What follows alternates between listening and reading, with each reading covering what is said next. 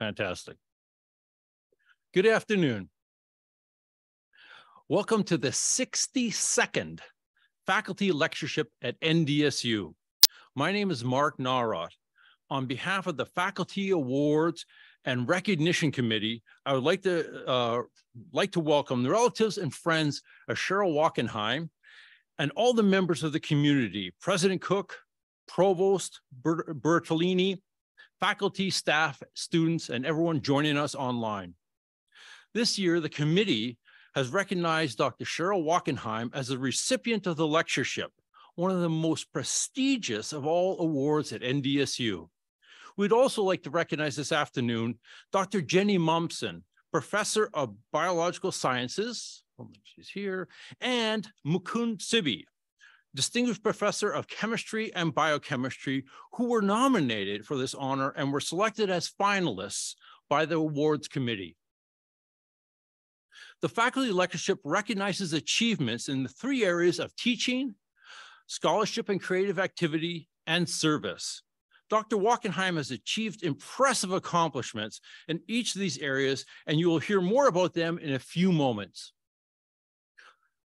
Uh, Dr. Wachenheim is the most recent uh, of more than 50 recipients of NDSU's faculty uh, lectureships dating back to 1957, with professors speaking on a range of topics, including grass on the prairies, Arctic exploration, climate change, the geology under Fargo, communication as a relationship, how groups think, feel, and decide, monolingualism, what history tells us about teaching and learning, and the conductor's art.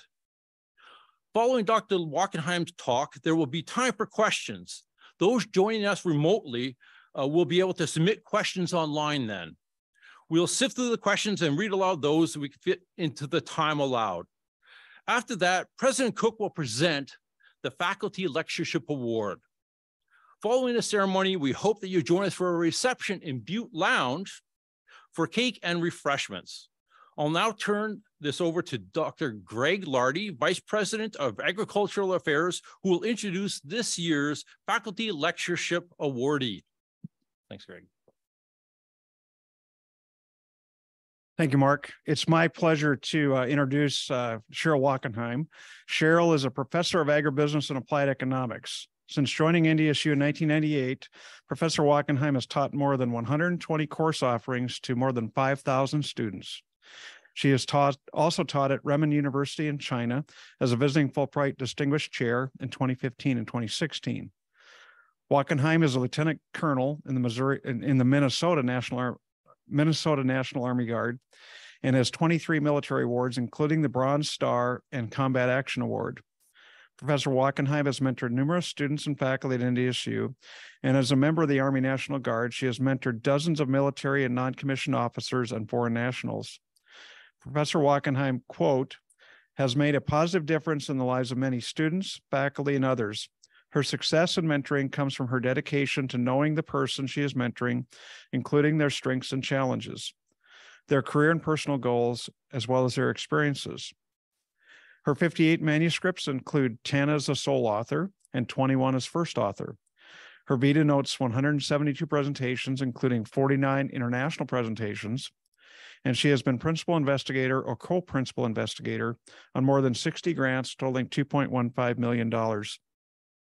She earned her bachelor's degree at the University of Minnesota and her master's degree in agricultural economics and master's of business administration and doctorate in agricultural economics from Michigan State University.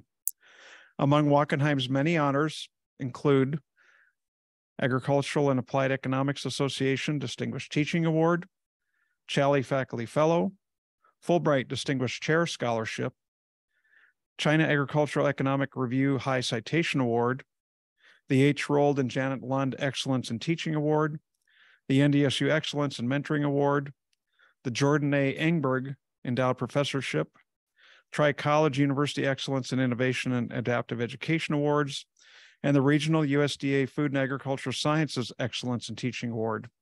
You can see Dr. Wachenheim is exceptionally well qualified to present this lecture, and so I'd like to call Dr. Wachenheim to the podium.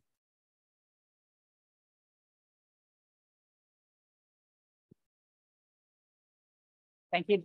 Thank you, Dr. Lardy. Okay, they were very concerned about the microphone not working. So thank you very much for coming. I, I realize I am the uh, in the way of uh, Friday afternoon, like during lake season, and we've had a tough go of it, haven't we? So I, I very much appreciate that you're here, and I'm honored to be here. The light is very bright. There, okay, perfect. Um, I'm really excited to be here. I'm just representing all the excellence here at NDSU. Um, I'm in the College of Agriculture, Food Systems, and Natural Resources, and I'm delighted to be in this college. It's an amazing opportunity to do a lot of things. Agriculture makes up about, uh, I think we said $18 billion in direct receipts for the state of North Dakota and $12 billion in indirect receipts. So it, it's an amazing part of of the economy in North Dakota. I work for a wonderful chair. We, we started at the same time, Dr. William Nganje. So I, I'm really just surrounded by incredible people and, and uh, given a lot of support.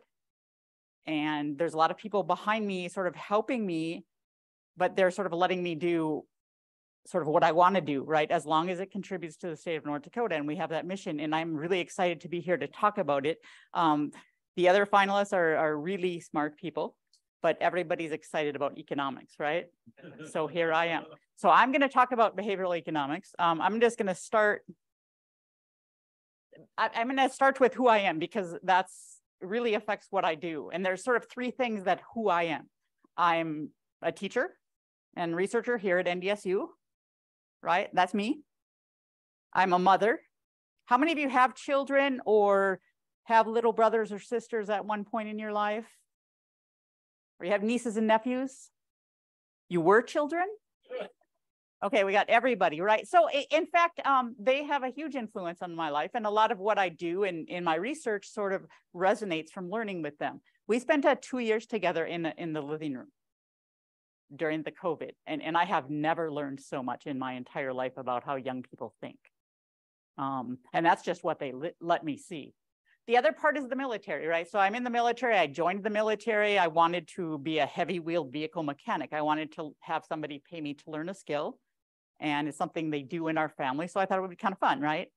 And it's 25 years later and I'm still in the military. We have drill this weekend, right? So it's been, been quite a ride and I've learned a lot as well. So these things will come into my presentation. So these are sort of founding fathers in economics, right?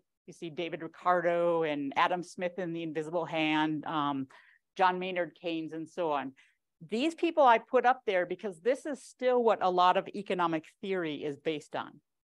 And in particular, and there's economists here, so you can just uh, during question and answer time, you can raise some questions about my presentation. When I say we, I'm being a very generalist, but we sort of assume a, rational economic person right? We assume the people that make decisions are doing so with full information, or at least good information, right? They know what's out there, they know what's available and how that will affect whatever it is they're doing. They have very well-defined preferences. They know what they want. Um, they're rational and, and they um, work in their own self-interest, right? They're, they're trying to make themselves happy. And, and we like that person. Only that person doesn't exist, right? But I think I was really excited. I think I found him. right? This guy knows what he likes. He has well-defined preferences. Um, he, we could say he's rational, right? Maybe his spouse doesn't think so. But, but this is as close as I found. But we know that person doesn't exist. But I want to talk about economics because that's what we do, right? So economists characterize how people buy with the graph on the left we assume people are going out there trying to get maximize their utility, make them as happy as possible, given a budget constraint. We have these insatiable wants, right? How many of you took economics and recognized that graph? Awesome, right? And then on the, the right side here, we have on the producer side, right? They're trying to make the right product in the right amount to maximize profit. And, and again, we, we're economists, we think that's good, right? Profit maximization, um, utility maximization. This is how we drive the world, right? And it's how we understand things. And then interreality, right? This is people, this is supposed supposed to, this two-dimensional graph is supposed to explain this individual's behavior. And, and this graph is supposed to um, reflect on how firms make decisions. So it gets a little messy, right? Sometimes I lose my thought, right? So we go ahead, um, we go ahead and try to understand people using our theory, but there is a sometimes a large error term, right? We don't, how people behave doesn't really reflect our expectations. Has that happened to you in your research? What you expect didn't happen? Anybody? Right. Okay, I feel better already. We're like a family, right? So um, so what do we do about that? Well, that's what I'm going to talk about behavioral economics. We, we went to the psychologists and, and we sort of stole their thunder, but we need it because we have to explain why our models are not, not perfect, right? So, so we do that. We work with behavioral economics. I'm going to talk about stuff and I'm going to essentially talk about how you can interfere with people's lives to change their behavior, right? That's the heavy stuff, right? Um, but I want to talk about freedom because while we're doing this, people like freedom, freedom of choice. It's a, it's a fundamental core of, of the US, for example, that people get to make choices on their own behalf. And it's very important. So as I talk about these sort of in the back of your mind, does the person have choice remaining after we have done that? Okay. Oh, it's going the wrong way. I had a speaker talk about chat GTP. How many of you are familiar with chat GTP, right? Whoa. I asked my students how many of you have used chat GTP to help you on a paper. And one guy raised his hand proudly and then other hands sort of went up a little bit. Um, it, it's amazing. So I asked it, you know, and I, I recognize I get this. I asked it, could you please write me a presentation on behavioral economics? And it said right away, it said, no, no, no, no. We don't do PowerPoint presentations, but here's an outline. It was amazing, right? That's what you're hearing today. the pictures are mine, right? So this technology is amazing. So they told me it's always good to start with a joke, right? So I asked Chat GTP, could you please give me a couple of really funny economic jokes? And usually it's fast, right? So it paused like 20 seconds went by and nothing happened. And then it slowly kicked out a couple and it essentially said, these may not be funny. so I'm not going to share them with you. But, but what I did get out of it, I said, well, why don't you write me a poem about behavioral economics? And, and that's what we have here. Um, I'm going to read it because the people back in the army, when I get there tonight, they're going to say, what did you do this afternoon? And I'm going to say I was at a poetry reading. okay. This came out of an artificial intelligence and it could have been my presentation, right? So in the world of economics, there's a field quite new that seeks to understand how humans behave. It's true. It's called behavioral economics and it's psyched to see as it explores the mysteries of our psychology, right? It delves into the choices we make each day and the reasons why we sometimes go astray, see why we don't predict the way people behave. And it looks at the biases that cloud, cloud our minds and the irrationalities that we often find. It shows how we're influenced by social cues and the way we're swayed by emotional hues. It covers the power of defaults and nudges and how they can change our behavior with just a few touches. Are getting in? This is behavioral economics. Um, behavioral economics remind us that we're not always rational human beings, and our actions are sometimes uh, influenced by unseen strings. So let us embrace this new perspective with glee and use it to understand our actions, you and me. Is good, right? I love this thing. right. Okay. So this is this is my hero. Um, Dr. Richard Thaler, he won a, a Nobel Peace Prize in 2017 for sharing with the world behavioral economics and the important role it plays. He also is a simplist, right? He's awesome. This is the most important thing he said. If you want people to do something, make it easy. And that's what behavioral economics is, is based on. So what I'm going to talk about, um, there's lots of different things that we look at in behavioral economics, how we can influence people's behavior and how we can better understand it. Now, apparently I can't talk all night and it's Friday, right? So I, I honed it down a little bit to these. So what I'm going to do, I'm going to tell you about these. And then we're going to talk a little bit about um, any concerns that we have about behavioral economics. Okay, you with me? So I'm going to start with bounded self-interest because that's what really got me going in, in behavioral economics. It really got me interested. And this is not my area of expertise, but it's certainly my highest area of interest as an economist, right? How many of you want to be economists now that you've heard that? Vote. Only the economists are raising their hand, right? So, huh. Okay, bounded self-interest. So I did a study, one of my first academic studies, I was Illinois State University, so I didn't make the mistake here, right? Um, I did a study with her, certified Hereford beef who was trying to establish a brand. You've all heard of certified Angus beef. Um, have you heard of certified Hereford beef? Probably because I did the study, the beef guys, right? Probably because I did the study and, and directed them incorrectly. Essentially, we did an intercept study in a grocery store. So we asked uh, individuals who came in, at that time it was 25 years ago, mostly women, came in and, and we showed them different packaging, different prices, cuts of beef with or without marbling, with a different fat edge around it. We asked them, what do you like? What most appeals to you about this? Because they were trying to establish a brand. This is our beef. And in fact, we got a lot of results. We published a paper. So I did the academic thing, right? But then I noticed as it came on the market, they weren't really following my direction. And, and it turns out it was because of bounded rationality.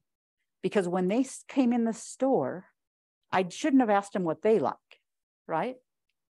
I should have asked them what they are going to buy for their family. And that doesn't seem like a big distinction to you, but let me show you because um, I, I send, I take pictures of myself at the gym to encourage my children to go to the gym at their respective universities, right? You can tell I, I don't spend a lot of time there, but enough to take a picture, right? This is my favorite pizza. How many like pizza? All right, this is my favorite pizza. It had everything on it, vegetables, meat, everything that you could ask for, right? You ask me what is my favorite, what is my favorite pizza, I'm going to point to this one, right? Now, what happened was I had children. They the, those little guys get in the way, right? So my son doesn't like vegetables.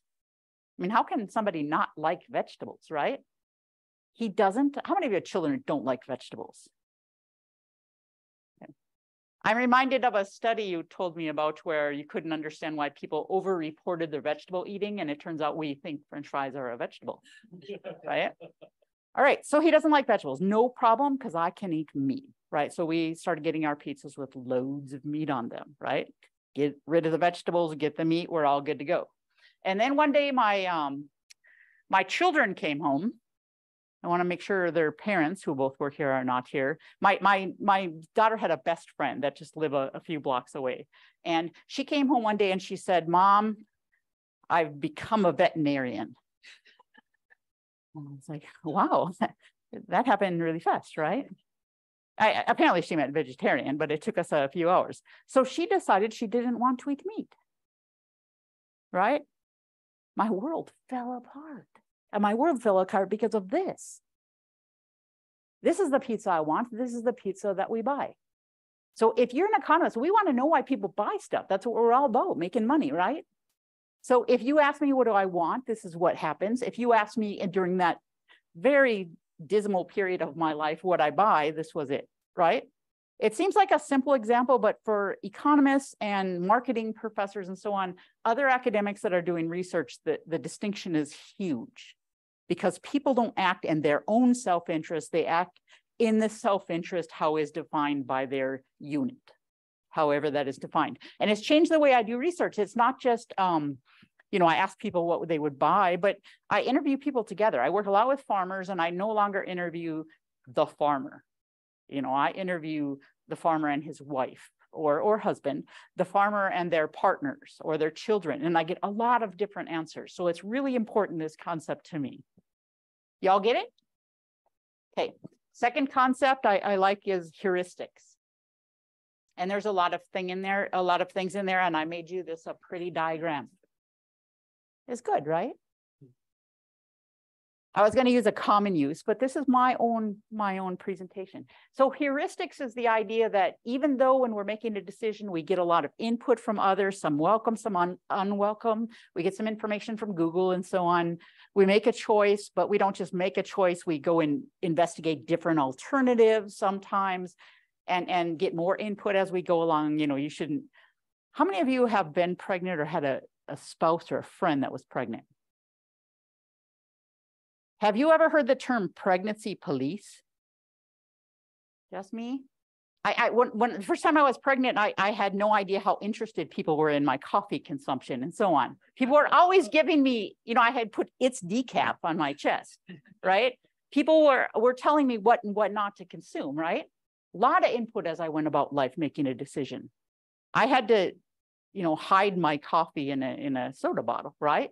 So what heuristics does for us is it simplifies the decision. We just make a decision based on something we already understand and know. So anything that falls under heuristics just helps us simplify the decision so that we don't have all these distractions. And the first one I'm going to talk about is authority. What do you think about these people? Raise your hand if you selected your, doc, your doctor here in Fargo or your home, home area based on their medical qualifications, including, for example, their education, the number of people they have saved, and so on, other important doctor things. How many of you selected your doctor that way? Of course you did, Jeremy. you did too. How many of you selected your doctor for some other reason, just to make sure everybody's raising their hand, right? What are those reasons? Recommendation. Who, who recommended it? Is that important to you? A friend, a friend that you trust. Did they make the decision based on the qualifications of the doctor? No idea, right? Anybody else? Location, availability? Gender. Gender? When I got here, I, I didn't have a doctor. I, I, go to the VA, but I did. I wanted a regular doctor, right? So I asked my colleague Bob Hearne, and he had selected his doctor based on the fact that they went to Harvard, which I thought was a good reason. But in reality, I have no idea if my doctor is good doctor or not. I have no idea. Do I like them? Do they call me the morning after and see if everything's okay? Um, do they do they clean up well? Whatever it is, right? It has nothing to do with their their skills as a physician. And the same with the priest. The priest I don't get to choose, right? But these people bring forward a certain credibility right? Because of their uniform. Now look at this, this priest, right? If you ran into him, little trust, right? what if you saw him jogging, right? The same thing?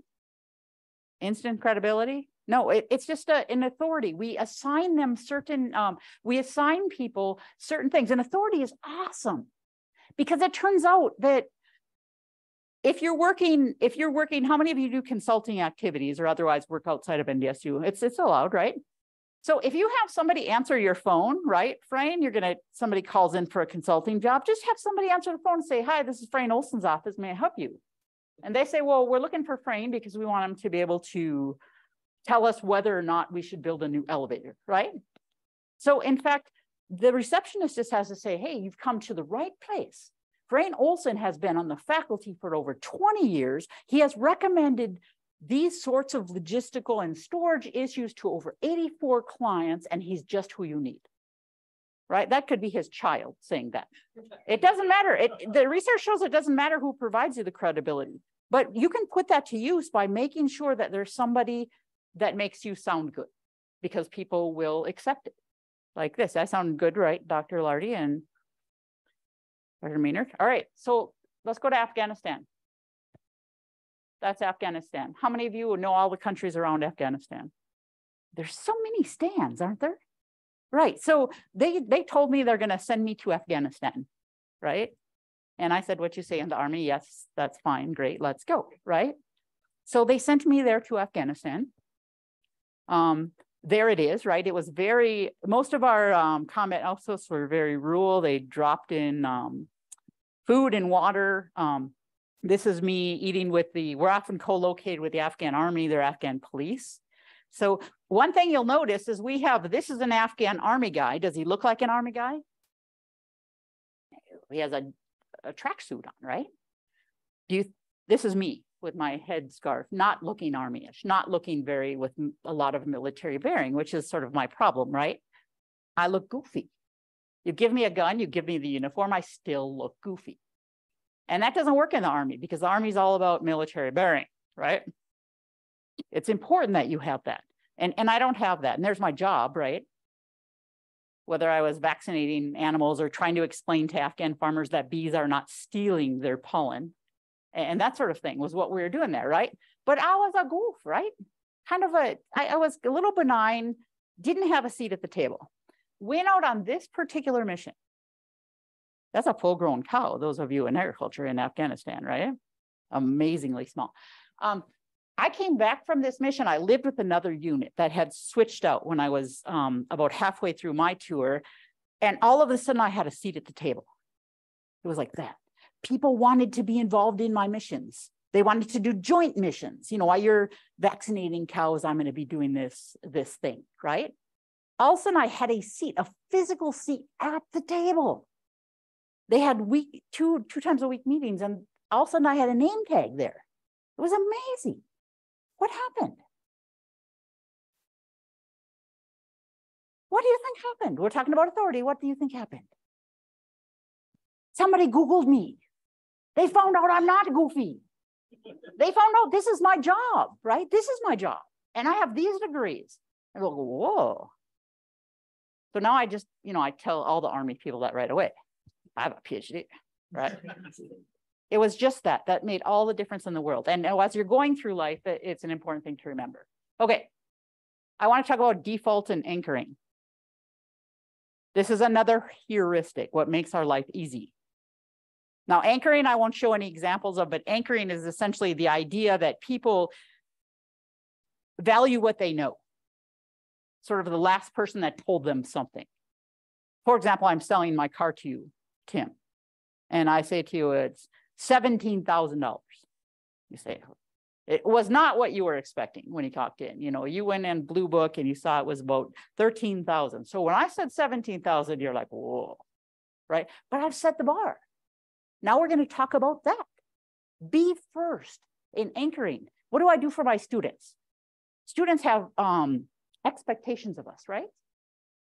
How, how, how fast should you be grading your exams? When do students start asking? Immediately after what? I tell them, I, like I told them what day they're going to get their final grades on, right? I told them, I tell them uh, 96 hours, I will get your exam back unless something happens and I will let you know. For those of you bad at math, that's three days, right? Or so. Four. Ooh, I, very good. All right, so I, I tell them that you're going to get this back and that changes their expectation. It realigns their expectation. So when I get it back in three, that's awesome. I tell them an email, I'll, I'll answer your email within 24 hours. They're used to like that, right? I emailed you two hours ago. I told them I realign their expectations. And that's what anchoring is. This is where you can expect things. And it's amazingly effective. I had no idea. So if you're teaching, be doing that. All right, default. Let's talk about default. That's a simply opt in, opt out kind of stuff. NDSU has a 401k plan and some other plan I don't understand. Are we opt in or opt out? When you join it, do you have to sign up for it or is it already there? It's there. The university has an incredible contribution to this, but you have to sign up, right, to have your own contribution coming out, right? It's an opt in. So I didn't discover that until I was here for a long time and the benefits person changed who was opting me in every year, but it's an opt in. So if you want somebody to have a 401k, you want them to save for their future, you might just have a policy where you opt them in. And that's what the military has. The military increased their life insurance policies to $500,000. And it was an opt out. It just happened to, it used to be 400, it happened a couple months ago. So they automatically assigned me, which I pay for about $20 a month. I mean, that's a, I have $500,000 in life insurance. I'm worth more to my children like dead than alive, right? Which they pointed out more than once.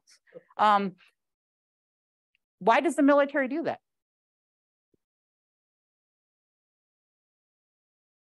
Well, if you have soldiers dying or people dying, um, and you want their families taken care of, you don't want bad press. You want, okay, your soldier died. We're sorry. Here's $500,000, right? If you don't want it, you have to opt out. So it's incredibly effective to have a default. Um, this is a really old study. It's 20 years old, but is uh, my favorite. These are, these are organ donation rates in some European countries and others. What's the difference?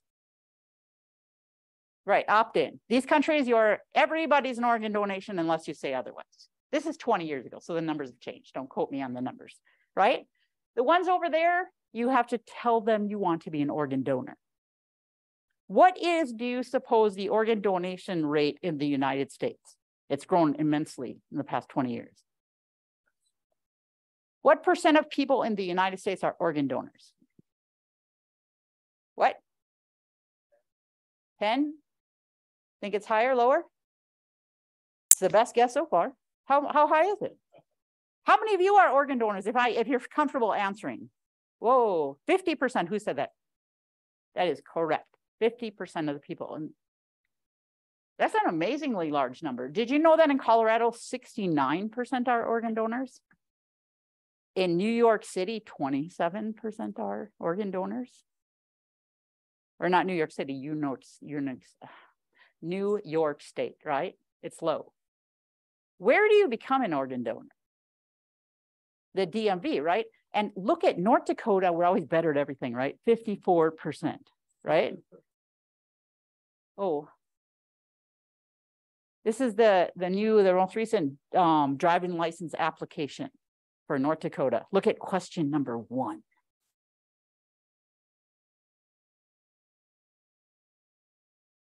Wow.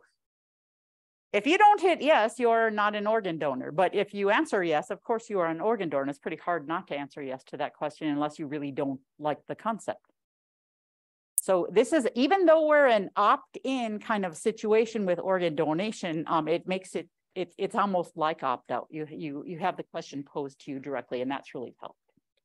So defaults are amazingly good. Um, try to be the default. How many of you have the same wireless carrier that you had when you first got your cell phone? Raise them up high. How many of you now keep them up if you're you still think that's the best choice if you were to do it again? Some people that don't have the same carrier believe that, right? How many of you think you should switch maybe or at least look into it? Uh, nobody but me and Frame, right? Right, because it's a default, right? We, we got it once and, and now we stick with it. Now, the biggest switching cost, the biggest cost of picking somebody else, they got rid of. What was that in cell phone service? Number portability. They made it so, and you can imagine who argued for that, right? But they reduced the switching costs. So they're trying to make things easy for you to make the decision, but we still stick with people that we're not that happy with, right? We tend towards making a decision which is I'm not making a decision.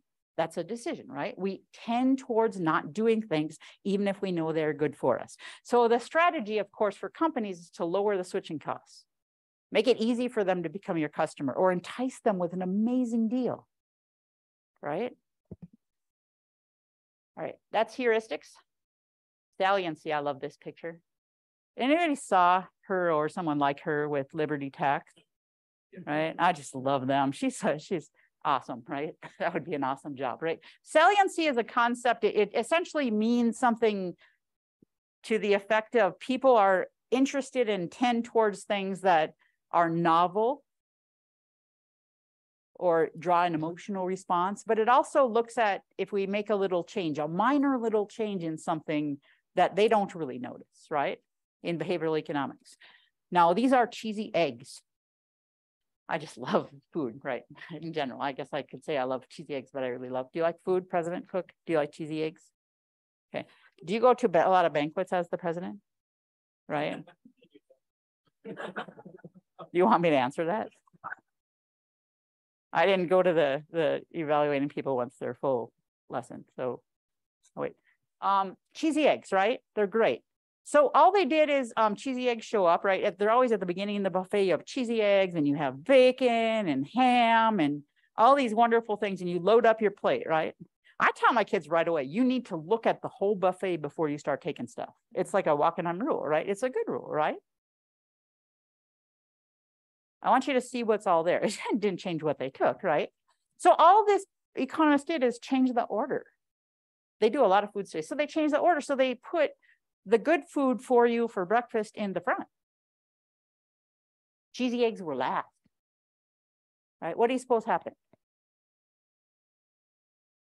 People took uh, more cheesy eggs. No, they put, this is, uh, the people in black are the people who had the, the sort of um, good food first, right? And the people in, in gray had the more healthy food first. So what do you notice? Yeah, it, more of what you ran into, but it wasn't just that. It was the cheesy egg people, that line took 31% more food. And who's not going to take that kind of food, right? When you have cheesy eggs and bacon. Do you like bacon? Yeah, both of you. No? Yes? Okay. That's okay. I'd be behind you in a buffet line any day then, right? Okay, so all they did was change the order. All they did was make a little teeny change in something and, and influence the way people behave. And in this case, they had a goal to make people eat healthier, right?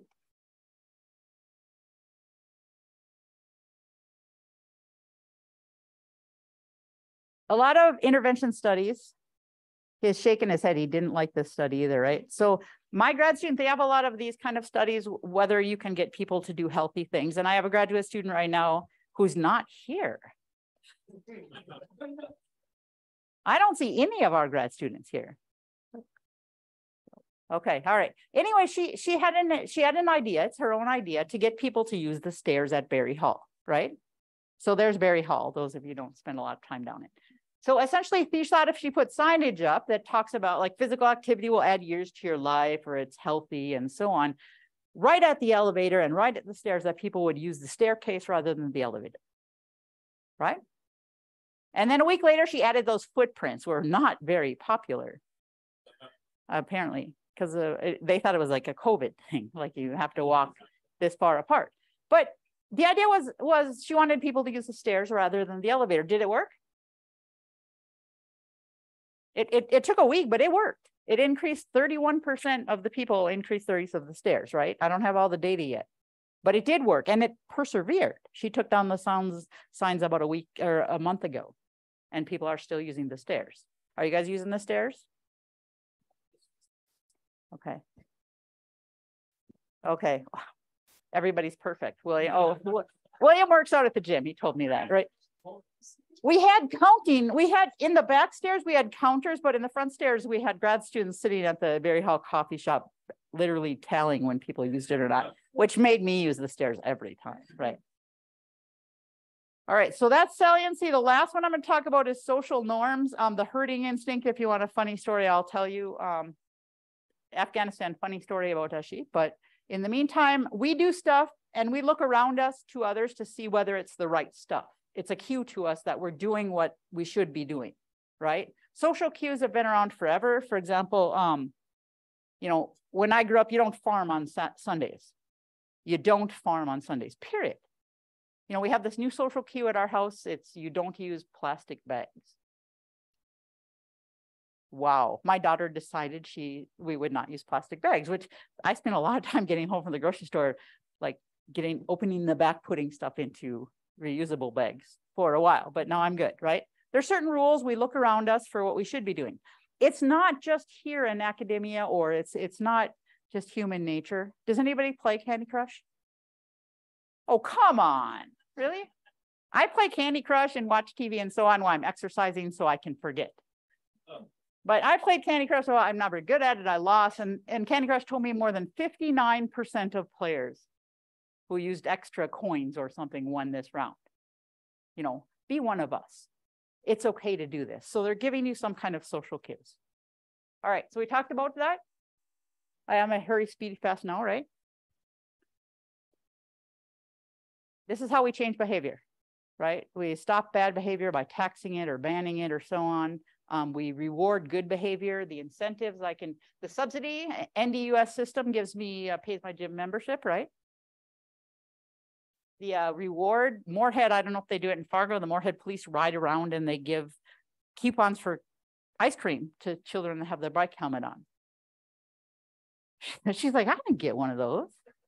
Right. So they we try to reward people for doing it, right? Um, the downside, we are interfering with people's lives. We are manipulating them. Regardless of how, how much we care about them and our objective is social good um, from the from the sort of social side, but of course we have firms doing it. People may feel manipulated and they want freedom. And I'm going to give you a couple of examples of reactance. Any electrical engineers? that's not that kind of reactance, okay? We're talking about something different. Um, anyone recognize this? I wrote this down because I, I couldn't believe it. It's the Bloomberg problem, right? Mayor Bloomberg of New York City. But it actually was not him. I'm hoping I can find it because it's the North New York Department of Health and Mental Hygiene. Somebody had to come up with a name, right? That's awesome. That's their health department. That's awesome, right? They put on a campaign that we shouldn't be drinking the big soda, right? And so they wanted to ban these sodas and just have this soda available at fast food restaurants and when you went into the grocery store or the gas station, anything with a with a fountain. They said, hey, you know, people have freedom. They can buy two 16 ounce sodas if they want to. But the idea was if we take away those big gulps, people will drink less. How many of you think that works? Okay, all right. So what happened? Well, somebody did an experiment and uh, about reactance and they essentially, this concept means that you, it's not only not effective, but it makes things worse. So they put people in a room and they either gave them some information about this attempt by Mayor Bloomberg to take away those freedoms, or they just gave them some random information to read. They each got a soda. They were instructed to take the cap off and enjoy while they were answering a survey, right? So this is what happened. The people that got the news article about uh, Mayor Bloomberg proposing this or the New York Department of Health and Mental Hygiene drank a lot more soda while they were answering the survey, right? And in our own study, you go ahead and read this. This was from a survey from our own STAIR study. I want to know, who, is this you, Jeremy? Okay. Don't tell me. This person said, I know what you're doing. You're manipulating me, so I'm going to use the elevator. Right? People do this kind of stuff. So the key is that they you don't want to you want to make sure they don't know they're being manipulated, right? And people don't like bands. They don't like Big Brother. Do you remember this? You guys have kids that age, right? Turns out you can't, ketchup has sugar in it. Who would have known, right? So they can't have ketchup, they can't have salt. So people didn't say stay out of our business. This was a, an attempt to change school lunches, right? Because the federal government doesn't ban school lunches. They don't ban how fast. How many of you remember the 55 mile an hour driving rule, right? The federal government said everybody's going to drive 55 miles an hour right? Do you, do you have any idea how hard it is to drive 55 miles an hour? It takes forever. The federal government didn't make it a rule. They said, okay, you states do whatever you want. That's your right, but we'll withdraw highway funding. And this school lunch thing was the same. You guys have any lunches you want at your schools in your states, but you won't be getting any subsidies from us. Right. So we had these school lunches. People don't like bans. And people were very good about arguing it. They don't say we don't like bans. They say this will have these the following effects but people don't like it. This is my daughter's quote. Noticing you're being manipulated is sometimes just creepy. And I didn't save the right one, but this was, did you get these ballots? Right? This one says, for example, you should vote and here's your voting record is, is average, right? What it doesn't show is it actually sent me something and said when I voted. I did vote in 2018. I didn't vote in 2019. I was like, creepy. The reality is nobody sees this, right? It's a machine that automatically sends them out. Nobody's judging me. You didn't vote that year. But man, I went and voted for sure, right? It's public record. It's a little creepy, right? Is a little creepy that that all this information is available to us. And the last thing I want to say is, is uh, it's, it's sometimes it doesn't work. Sometimes you do something and it doesn't work. We don't publish it often because we don't publish, you know, no result papers. But I want to tell you something about the back stairs at Barry Hall. Have you guys been there, spent some time there, President Cook? Okay, if you ever use the back stairs. Now, NDSU is very security minded and they did the right thing. They they it, they put locks on it. So you have to scan your card to get upstairs on the elevator or to get out of the stairway. Right? We did that because of security concerns. It's a good job. What turns out, and I, I didn't even realize it, but I do this as well. Somebody wrote on our survey, well, I used to use the stairs, but now you can just scan your card, get in the elevator, get go to your office and get out. But if you use the stairs, you have to find your keys and open the door and so on. Right? So our, our attempt at safety, we we didn't step back and see, and who would have known? Um, I take the elevator back there too now because I can't find my keys and, and it's not an easy process. But sometimes we make changes and we're not sure how that will affect things. So we need key scanners at every stairway. Can we get that? Oh. Okay, excellent. All right, so that's it. Um, I, I, I guess I stop now and you're supposed to ask questions, but you can just say stuff because I know there's lots of you who want to say stuff.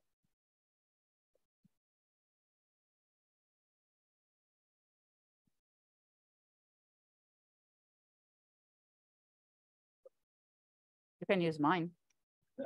Walk up to everyone. Okay. Uh, question.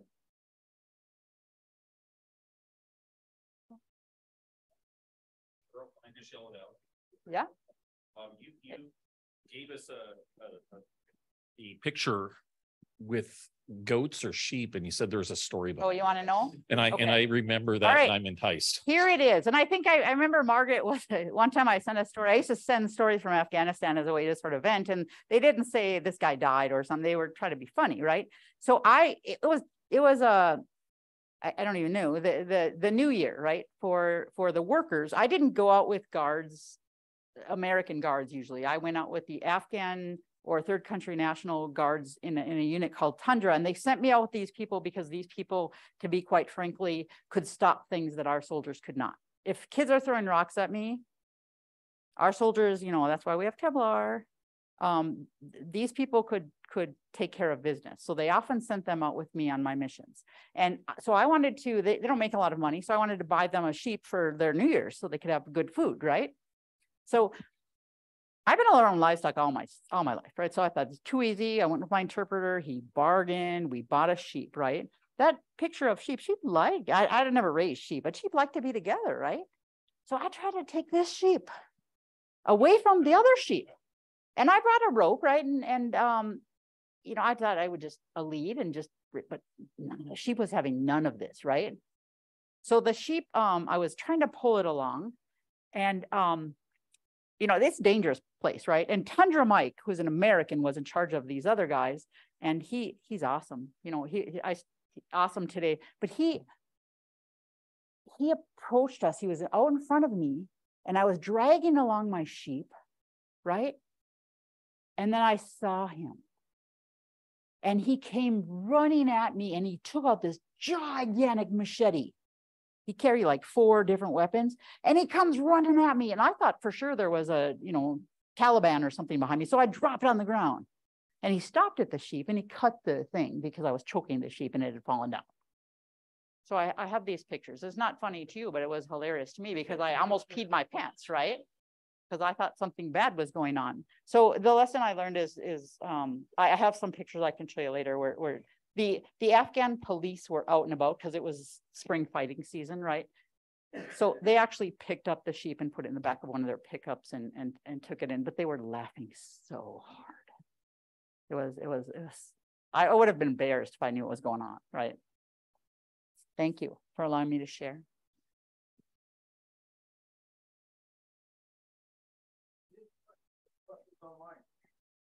Nobody have a question?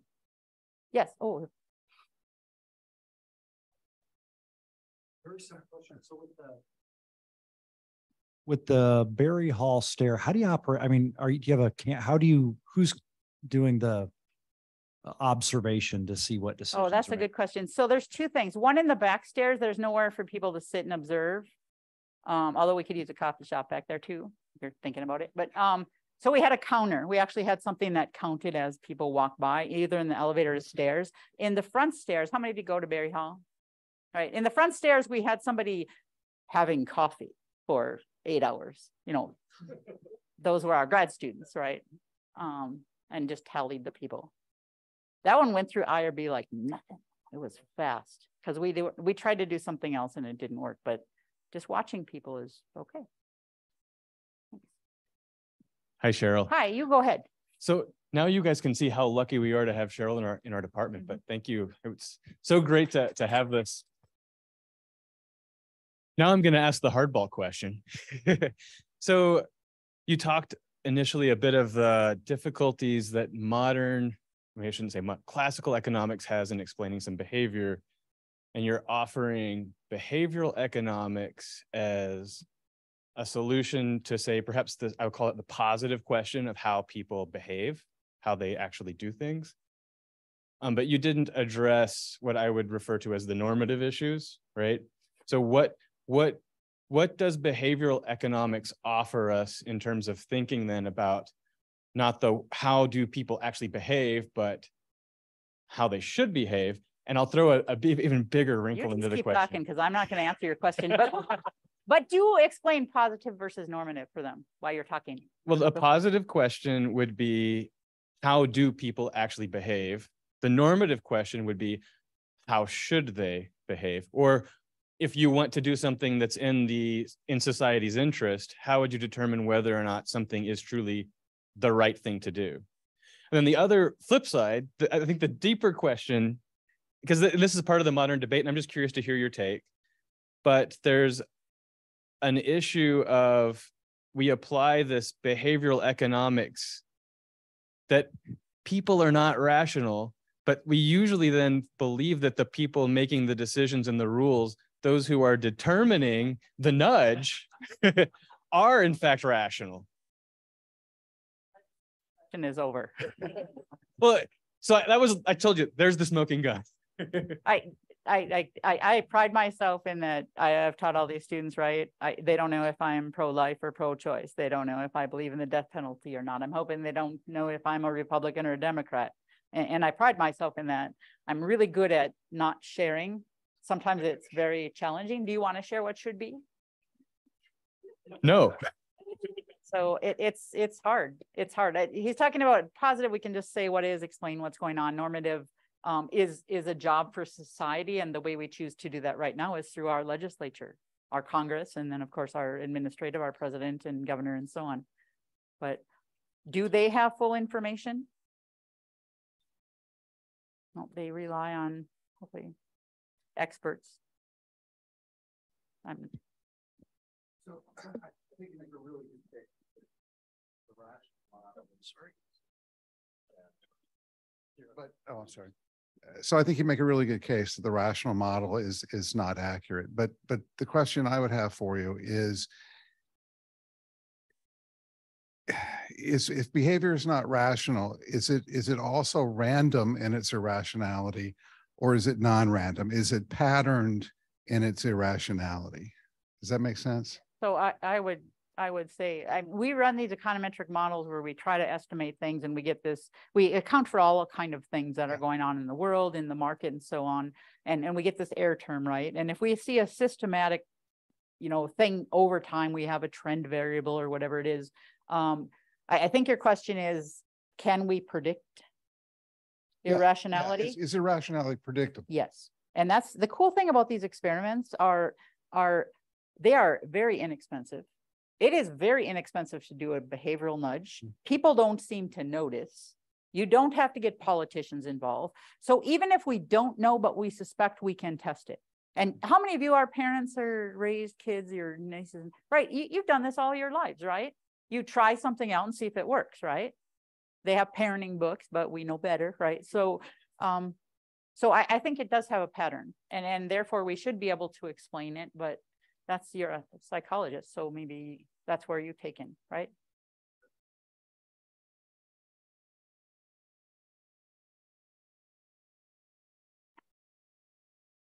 That was an awesome lecture. Um, so my question is kind of related. So you said you've done a lot of work with farmers, and I'm curious about is there a have you seen a difference with farmers compared to like the general population um, in terms of that that I guess that pattern aspect as well in terms of their how they behave and make decisions, I guess.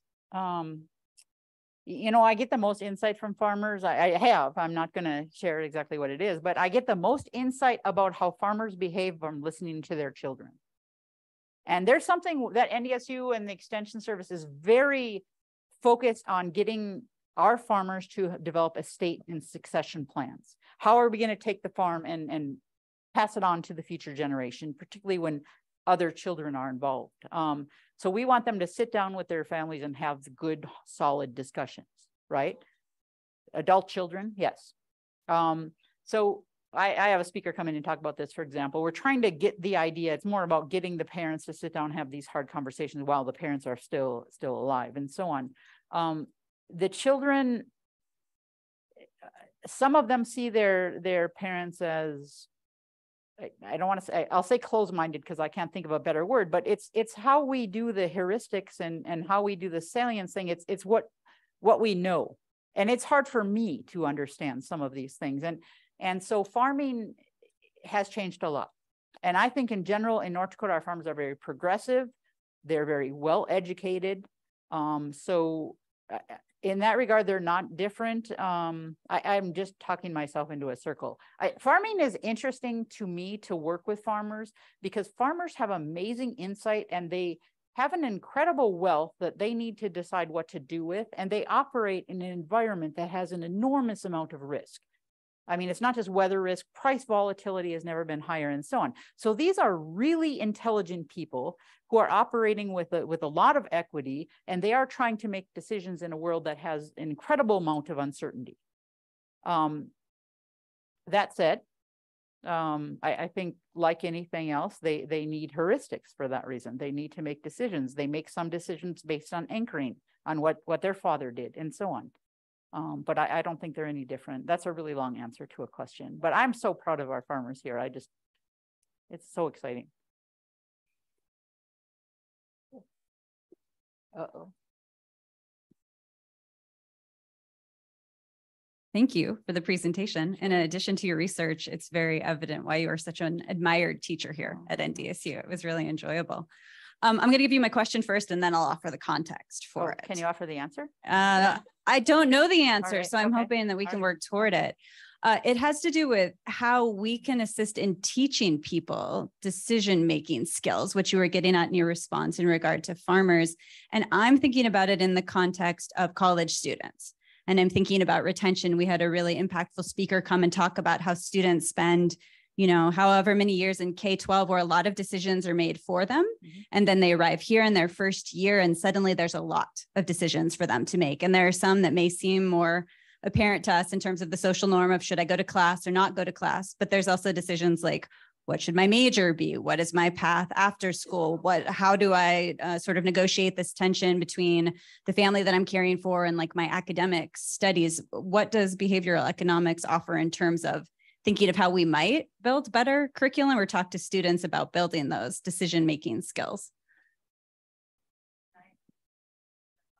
All right. No. No? Okay. Is he, can you hear me? Or is it on the microphone? No. I might have broke it. How about now? Okay, well, I'll just take that one. Um, oh, okay. Um, can I just ignore your behavioral economics part of that question? Because we are doing amazing things here. We're, we're focused on retention, the from the top down, um, from the bottom up. We want our students to come here. We want our students to stay, right? How do we get them to stay? We're taking the right steps, right? Eh, focus on advising focus on, I got an email, uh, you've all gotten it about making Blackboard available so they know what's going on, right? Because this is sort of a pivotal time for the new students. It's kind of their first time sometimes away from home making these kind of decisions, right? And they're not always big decisions, but putting placing the advising in a central location so it doesn't depend on whether the advisor is available or willing to take the time to get to know. They should all have the same experience, right? Um, I, I, it's to, to me it's about empathy and and showing the student that they care and putting them in an environment to make decisions where failure is celebrated as much as success. And I think the focus at this university on experiential learning, um, getting the kids involved in things and, and to be honest, showing them you care. It has nothing to do with behavioral economics. We could, we could do that as a research project later. When I think about it, I'm not standing up here. Um, cause it's a, probably a good idea. There's ways we can manipulate them into staying.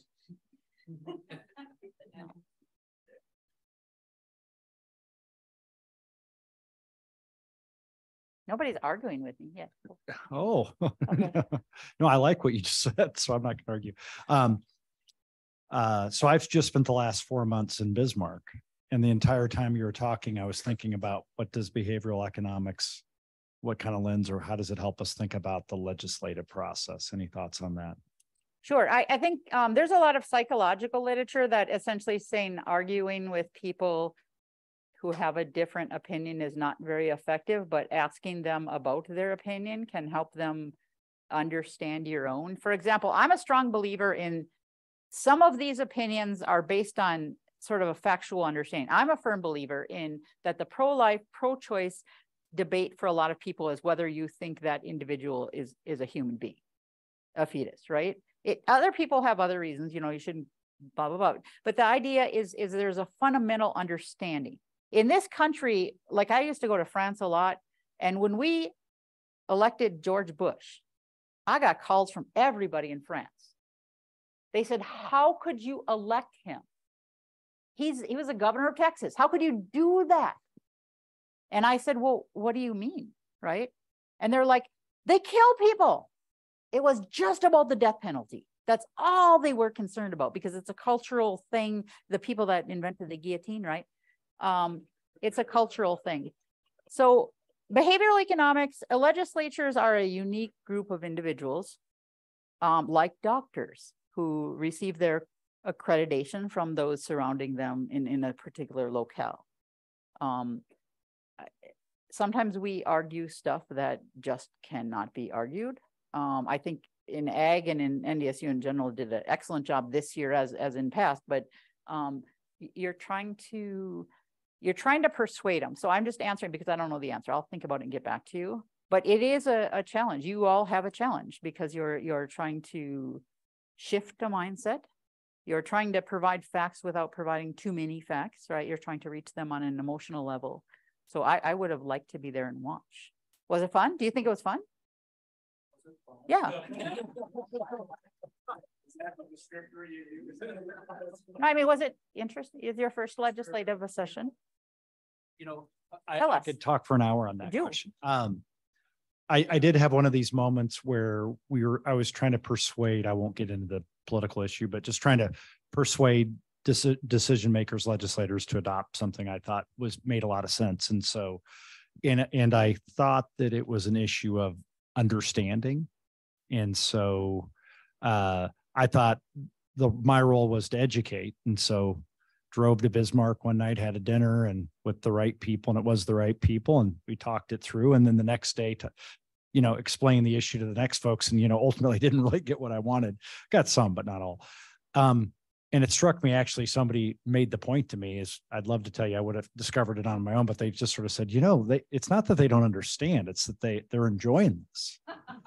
and I thought that was just kind of spec and it right in hindsight, I'm like, yeah, that's right. So, but then you think about so many decisions get made there at the last minute for lots of different reasons. I think a lot of decisions get made because they like somebody or they don't. And, and then, oh, you know, and add 50 more variables. So yeah, so it's kind of fascinating. Here's the cool thing. I, I I'll have you know, North Dakota, um, there are 36 states now that have seatbelt use as a primary offense. So they can pull you over if you are not doing anything wrong, but you don't have your seatbelt on, right? North Dakota is um, 45th out of 50 pe- in terms of people using their seatbelts. We have 84% compliance rate. That's not really good because um, the science shows that I think it's 43% of car accidents that are fatal are because somebody didn't have a seatbelt on, right? Then you have people flying through the air and like that. But but here's the deal. The North Dakota legislature only meets every two years, and they have been debating this ad nauseum, right? Because it's like a slippery slope idea. First, I don't know if you guys are old enough. We didn't have seatbelts, right? And then they want you to wear it. They make a rule and then they make it so they can pull you over if you don't use your blinker right and also ticket you. So it kind of like a the whole slippery slope, which is what people are afraid of. This legislative session, as of August 1st, you're all going to be wearing seatbelts. And if you're not, as a primary offense, they can pull you over in North Dakota. It was a squeaky margin. But the process he's decide discovering nothing changed, right? Nothing changed in North Dakota. We still like our freedom and so on. But eventually they got enough people on this side. And, and I would guess it has nothing to do with science, right? I could argue science all day why we should wear seatbelts, but it, it has to do with this process that you enjoyed. You don't get to do it for two years. Well, not quite two years, but you and Greg can commiserate. What? Yeah, they're gonna give us raises from what I heard from your previous presentation. So we like them. Seems to I hate to bring all this fun to Oh, an end. thank Is there a God. last question somebody has? Want to go with? All right, two questions that are related. is it my child? It's not your child, no. Okay. I can, I can guarantee that. So, Okay. yeah. Uh, in behaviorism, there's an emphasis on actions without an emphasis on mental states. Okay. How is behavioral economics different since it's based significantly on mental and emotional states? And the corollary to that is, is a nudge, a subtle form of conditioning. Can you interpret that for me? He, he can answer this question. Go ahead. That's a lot of psychology. Is that one of your colleagues? No, it's, it's not. Okay, so is it a conditioning form? Y- y- Yes, Yeah. you're, you're trying to influence, interfere with people's lives and get them to, if that's his question, certainly it is. And is that wrong or right? That's a, he can, Jeremy can answer about the normative question. I didn't understand the rest of the question. I'm not really that smart. Did you?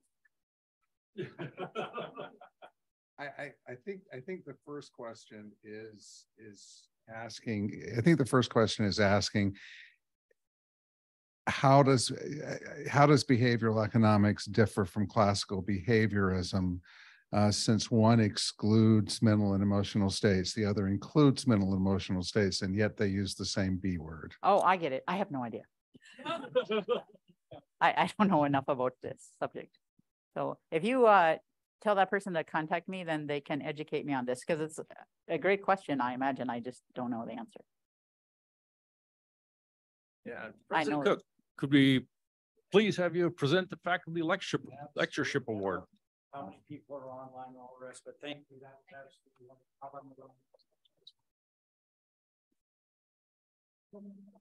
I know first a photo off. Like a very small person around So congratulations.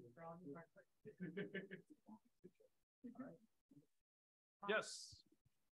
Uh, thank you, Dr. Cook. Uh, so this brings to the end this year's award ceremony. Make sure I'm standing in front of you here. I, I, For the faculty lectureship, uh, I want to thank Dr. Wachenheim for such an impressive presentation. Uh, we had a lot of fun here. Uh, and for sharing everything with us. If you have other questions, please email them, Dr. Wachenheim, or simply come to the reception here uh, at Butte Lounge following this. So thank you very much. We you. appreciate your presentation. Thank you. Thank you.